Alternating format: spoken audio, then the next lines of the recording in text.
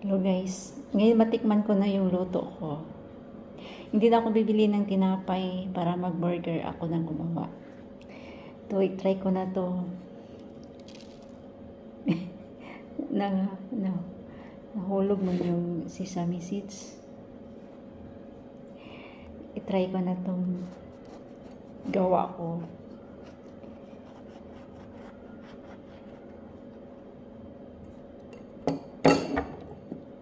Ayan.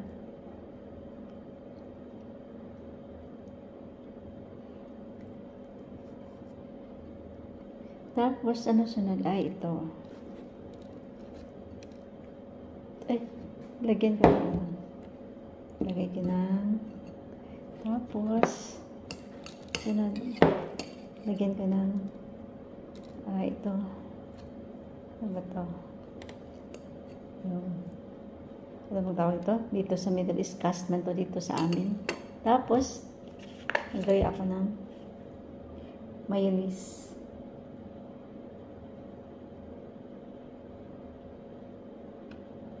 Tapos,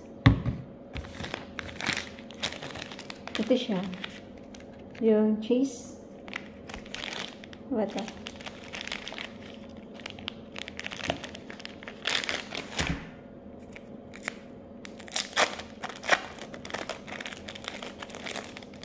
Try ko na to.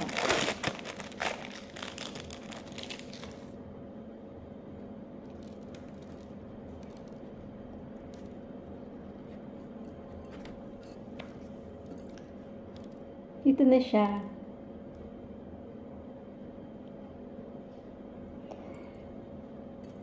So, hindi na ako magbili ng tinapay para mag-burger. Ako nang gagawa. Ako nang gagawa ng burger bread. Just matikman na.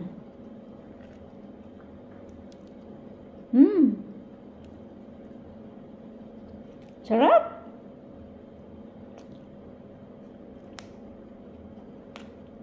Kain guys.